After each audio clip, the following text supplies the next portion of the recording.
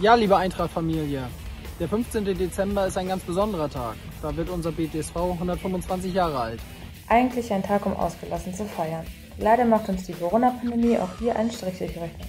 Und wir können unseren Verein nicht wie geplant im Kreise der gesamten Eintracht-Familie hochleben lassen. Doch was ist ein Geburtstag ohne Feier und ohne Gäste? Deswegen ist unser Wunsch an euch. Zeigt Flagge. Für welchen Verein schlägt euer Herz und das Herz dieser Region? Hisst eure Fahnen, schmückt eure Fenster und Häuser, tragt eure Trikots in blau-gelb und stoßt auf die Löwen an.